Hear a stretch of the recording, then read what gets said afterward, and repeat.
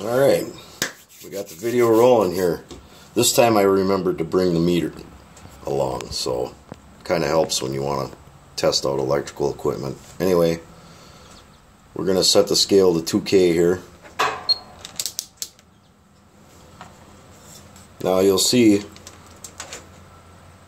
oops, you'll see when I touch the leads together,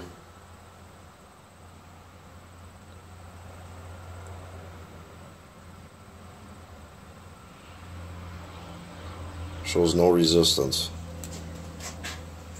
These two leads here go to the regulator rectifier.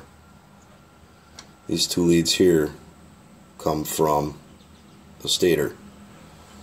Now, I'm going to run the first test from leg to leg. Oh, that's not good. There's no resistance there at all. That means there's a short between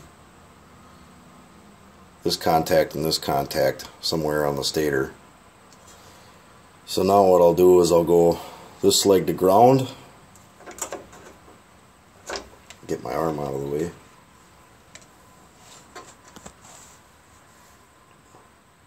That one shows a short. And go to the other leg. And go to ground. and that one shows a short as well.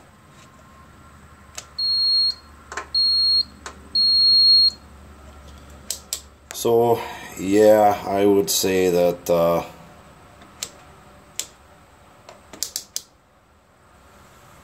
the stator in this bad boy is pretty much toast.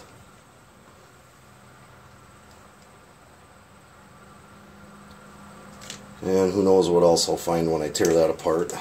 But uh, I guess I'll be ordering a stator.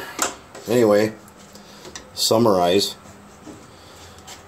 There should be resistance between these two.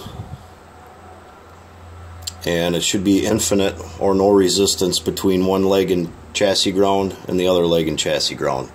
That's why you test a stator on a Kohler. your results may vary. Uh, be sure to look up your manufacturer's specifications for tolerances. Hey, thanks for watching. Have a good day. We'll see you next time.